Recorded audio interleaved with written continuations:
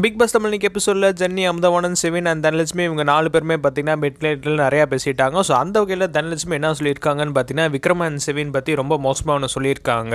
Bigg Boss Tamil season six முடிஞ்சதுக்கப்புறம் Shivin and Vikram இவங்க ரெண்டு பேருமே வெளியில் வந்து கல்யாணம் பண்ணிக்கோன்னு சொல்லிட்டு தனலட்சுமி சொல்லியிருக்காங்க. அண்ட் இதை கேட்டதுக்கப்புறம் பார்த்தீங்கன்னா அமுதவானன் அண்ட் ஜென்னி ரெண்டு பேருமே சிரிச்சிருக்காங்க. ஸோ இதை வந்து பார்த்தீங்கன்னா ஸ்ட்ரைட்டாக சிவினோட ஃபேஸ்லேயே சொன்னாங்க தனலட்சுமி.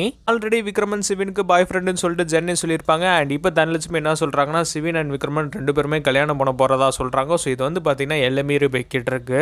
இது அவங்கள பொறுத்த வரைக்கும் ஃபன்னான கான்வர்சேஷன் தான். ஸோ நல்லா ஜாலியாக பேசிட்டு இருக்கிறப்ப பார்த்தீங்கன்னா ஒருத்தருக்கு ஒருத்தர் இப்படி பேசி கலாச்சிக்கிறாங்க பட் விக்ரமன் ஃபேன்ஸுக்கு இது உண்மையிலேயே ரொம்ப கோவம் வந்துருச்சு.